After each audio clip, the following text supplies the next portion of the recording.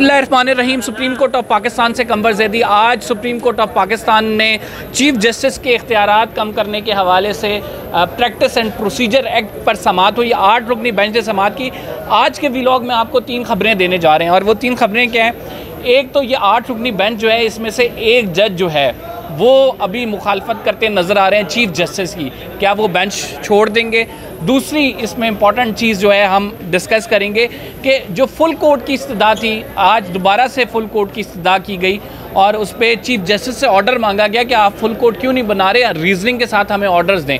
वो डिस्कस करेंगे और तीसरी इंपॉर्टेंट चीज़ जो हम आज डिस्कस करने जा रहे हैं, क्या इम्प्लीमेंटेशन बेंच यानी चौदह मई का जो फैसला है, उसके हवाले से कोई अपडेट होने जा रही है? असनात मलिक साहब हमारे साथ मौजूद हैं और आपको बताएँगे कि आगे सुप्रीम कोर्ट के मामला किस तरह से चल रहे हैं? एक बड़ी लड़ाई जो पार्लियामेंट से ली हुई है वो किस तरफ़ आगे जाती हुई नज़र आ रही है? असनाद साहब, आज हुकूमत की जानब से इस्तः की गई फुल कोर्ट पर और अटॉर्नी जनरल ऑफ़ पाकिस्तान ने भी उसी पर आर्ग्यूमेंट दिए सारे।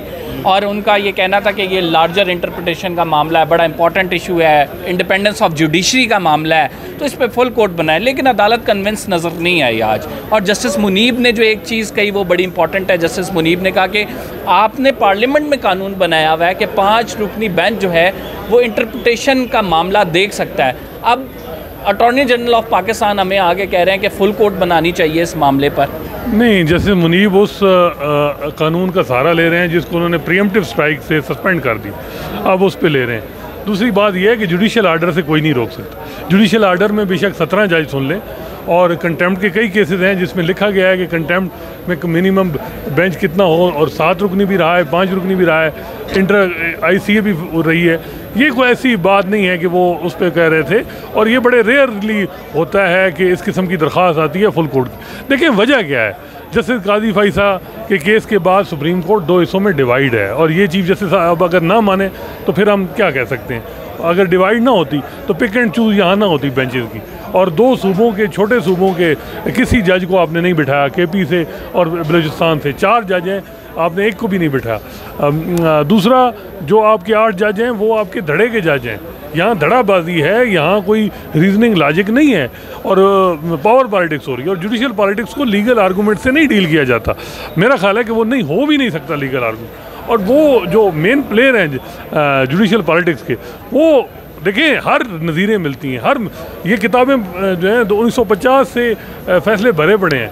हर किस्म का मटेरियल आपको मिल जाएगा हर किस्म की फैसला लिखना है आपने इधर लिखना है तो उसका भी मिल जाएगा दूसरा लिखना है तो और भी मिल जाएगा। लेकिन ये मोटी सी दो बातें हैं कि देखिए सुप्रीम कोर्ट बड़ी जुडिशल पॉलिटिक्स की आप बात करें लेकिन जुडिशल पॉलिटिक्स को जस्टिफाई करने के लिए उसे ऑर्डर में लाने के लिए भी बड़ी मुझे ये बताएँ कि वो लीगल साइड से ही आर्ग्यूमेंट्स होंगे ना? देखें ये बेंच बना ही जुडिशल पॉलिटिक्स पे। आपका ख्याल नहीं है कि ये पाँच रुकनी चीफ जस्टिस ने अपनी स्ट्रेंथ शो कराई है कि जी मेरी मेजॉरिटी है।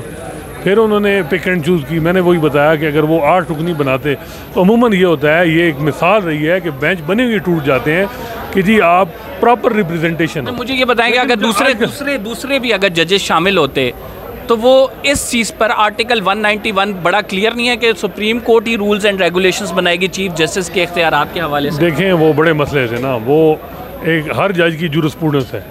जो जज रह गए ना, उनके अगर आप जजमेंट देखें ना, उन्होंने पार्लियामेंट की सुप्रीमेसी की बात की और उनकी आप अतर मिनल्ला साहब के चार साल इस्लामाबाद हाई कोर्ट में आपने देखा होगा कि कैसे उन्होंने चलाया उन्होंने पार्लियामेंट की सुप्रीमेसी को मज़ीद तकवीत दी और इसी तरह मंसूर अली शाह तो बात यह है कि बड़ा वादे था ये बड़ी ज्यादती है पार्लियामेंट के साथ कि उन जजेस को चुन चुन के आपने हटा दिया जो पार्लियामेंट की सुप्रीमेसी की बात करते हैं। ये भी एक ज्यादती है कि जुडिशल पॉलिटिक्स में आपने पार्लियामेंट का भी नुकसान कर दिया। अभी तो मतलब राइट नाउ तो अगर ये देखें तो इसमें अदालत जो है वो इस्तदा मानती नज़र नहीं आ रही है कि फुल कोर्ट बनाया जाए वही मैं कह रहा हूँ बेशक ना माने। देखें बात ये है कि इसका, ये जुडिशल पॉलिटिक्स है। मैं तो कानून और इस वक्त कोई नज़ीरें नहीं हैं।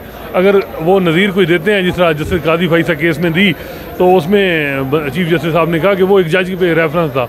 यहाँ, हालाँकि पहले खुद कहा कि ये इंडिपेंडेंस ऑफ़ जुडिशरी अटैक है अंडर अटैक है इस पर अब बात लेकिन जस्टिस आयशा मलिक ने जो सवाल उठाए उन्होंने कहा कि आपको क्या बाकी जजेस पर अतमाद नहीं है? फिर उन्होंने ये कहा कि क्या ऐसे कितने हर case as a first impression he deal देखें बात यह है कि यहाँ बड़ा ओपन है कि कुछ प्रो पीटीआई जज 2017 से कुछ जजेस की हिस्ट्री है ठीक है? उन्होंने नून लीग या पीडीएम को रगड़ा दिया ठीक है? बेहतर यह है कि इन चीज़ों से pro P M L N जज भी हैं सर बिल्कुल। लेकिन उनकी कोई बताएँ कितने जिन्होंने फैसले किए हैं पी एम एल एन कोई एक किया होगा दो किया अगला काजी फाइज ईसा साहब का दौर आ रहा है वो आपको समझ आ प्रियम कर रहे हैं प्रियम कर रहे हैं ना। प्रियम्प्ट कर रहे हैं बिल्कुल। देखें बात ये डेटा दें ना। डेटा दें जिस डेटा से पता चले कि जी ये फलां जो है ये है और फलां। वो डेटा नहीं है बात ये है कि कोई अब तो जस्टिस नकवी साहब का भी नहीं कहा गया कि उनको रिक्यूज़ कराएँ। उन्होंने कहा कि सारे बिठाएँ आप पंद्रह जज बिठा दें। अच्छा इसमें मसला ये है कि सात आठ की डिवाइड है। एक जज आगे पीछे हो गया तो काम चीफ अब एक जज आगे पीछे ऑलरेडी जस्टिस काजी फाइसा में फुल कोर्ट चीफ जस्टिस साहब ने बनाया है और उनका जजमेंट रिव्यू हो गया। बड़ा रेयर होता है कि रिव्यू तो फुल कोर्ट इस दफ़ा उन्हें भी अंदाज़ा है कि जो है इस यहाँ कुछ भी हो सकता है। चीज़ें जो है वो अंदर ब्रदर जज जो हैं जिन्होंने आगे चीफ जस्टिस बनना है और longest chief justice Mansoor Ali Shah होंगे तकरीबन दो साल के लिए और चीफ जस्टिस काजी फाइसा हैं तो मसला ये है कि जब जुडिशल पॉलिटिक्स आएगी तो वो जजेस जो आठ हैं इधर इनमें से एक दो आपको आज भी अंदाज़ा लगा होगा कि कुछ जजेस ओपन माइंड के साथ बैठे हैं। जस्टिस मोहम्मद अली मजहर की बात करते हैं। आपका ख्याल है कि ये आठ रुकनी बेंच भी टूट जाएगा? जस्टिस मोहम्मद अली मजहर जो है वो बैंक टूटेगा नहीं मेरा नहीं ख्याल है उस पर टूटे। लेकिन वो मे भी इस पे कहेंगे जी फुल कोर्ट फुल कोर्ट वैसे बात यह है कि ये रीज़न है। देखिए मे भी उन जजेस में से भी कुछ चीफ जस्टिस को सपोर्ट कर जाएँ। Supreme court practice and procedure act में। मे भी सपोर्ट करें। इसमें कोई शक नहीं है कि जो पार्लियामेंट पहली दफ़ा एक कानून बनाया जिसने सुप्रीम कोर्ट को रेगुलेट किया वजह यह है कि रूल्स आपने तब्दील नहीं किए। जैसे मुनीब की जजमेंट है कि सो मोटो इनबैलेंस है ये पावर इसको रेगुलेट करना है। लेकिन क्यों नहीं किया जी? आपने प्रियमटिव स्ट्राइक किए हैं। जस्टिस काजी फैसा के चीफ जस्टिस बनने से पहले आपने कहा, chief justice the master of roster. अगर पंद्रह जज भी सो मोटो का फैसला लें, वो चीफ जस्टिस से अप्रूवल के बगैर आगे इनिशिएट नहीं कर सकते। फिर चीफ जस्टिस को भेजेंगे, चीफ जस्टिस मामला। तो देखें ये पूरी नहीं मास्टर ऑफ़ रोस्टर में की आज भी बात हुई और उन्होंने कहा कि हम क्या अपने चीफ के खिलाफ ऑर्डर करते हैं और फिर चीफ उसे साइन करके ओके करेगा। देखें चीफ अगर मेरा ख्याल है इसमें कोई नहीं है। हर जज ने कानून के मुताबिक। अब यहाँ को धड़ेबाजी तो नहीं है कि मैं जज चीफ जस्टिस के खिलाफ क्यों करूँ? जी चीफ जस्टिस ने मुझे सपोर्ट किया।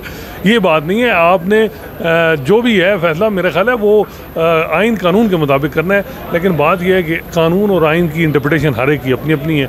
लेकिन इस पूरी गेम में। सुप्रीम कोर्ट सफ़र कर रही है। सफ़र तो कर रही है ना आठ जज आपने बनाए हैं तो लगा ये है कि सुप्रीम कोर्ट फुल कोर्ट आठ। रुकनी बनियाल साहब ने अब ये डिसाइड कर लिया है कि जो पोलिटिकल केसेस हैं हाई प्रोफ़ाइल सेंसिटिव केसेस वो आठ जजेस से ही चलाना है सुप्रीम कोर्ट। सर मुझे ये बताएँ कि एक और बड़ा इंपॉर्टेंट मामला है वो सुप्रीम कोर्ट की जजमेंट जो 14 मई की है वो नहीं इम्प्लीमेंटेशन के हवाले से बेंच वो कब तक बन जाएगा? क्या खबर है? देखें वो तो अब चीफ जस्टिस साहब ही क्योंकि ये उनका ही होगा कि वो कब बनाएँगे। मे बी वो कल बना दें परसों बना दें। चांसेस चौदह मई से पहले लग जाएगा। देखें चांसेस तो हैं बड़े चांसेस हैं और उसमें कोई शक नहीं। लेकिन आज मुझे जो है बेंच जिस तरह एक्ट कर रहा था। मुझे इफ्तार चौधरी का दौर याद आया जब सत्रह के सत्रह जजेस जो हैं एक ही डिसेंट नहीं होती थी। यहाँ डिसेंट हुई है लेकिन वो मुनासिब तरीके से क्योंकि ए मदर साहब जो हैं वो इंडोर्स नहीं कर रहे थे। उन्होंने कोई हक में बात नहीं की है कि हम कहेंगे जी उन्होंने कोई नून लीग की या इनकी जो दरख्वास्तें हैं उनकी सपोर्ट में कोई बात। उन्होंने ये है कि कुछ सवाल ऐसे नहीं है जिसका इंटरप्रटेशन ये की जा रही है कि मदर साहब कह रहे हैं कि जेनुअनली ये मैटर ऐसा है कि इसको फुल कोर्ट सुने। और फुल कोर्ट में वैसे मेजॉरिटी है चीफ साहब के पास धड़ा उनका आठ का है। लेकिन वो फिर नहीं बना रहे। अच्छा नाजीन आपने सुना हसनात मलिक साहब का तजिया और आज जो है सुप्रीम कोर्ट ऑफ़ पाकिस्तान में क्या कार्रवाई हुई? हमने तीनों खबरें आपको दे दी। कंवर जैदी को सब्सक्राइब ज़रूर कीजिए फ़िलहाल के लिए इतना ही। कंवर जैदी को इजाज़त दीजिए अल्लाह हाफ़ ये देख दस दस सेकंड रहते थे